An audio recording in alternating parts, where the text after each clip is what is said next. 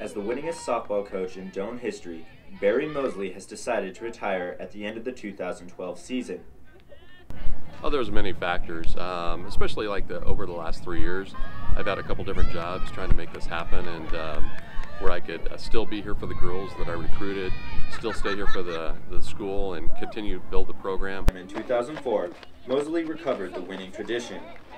Mosley said after 25 years of feeling like coaching was his purpose in life, he now finds himself drawn to another passion of his.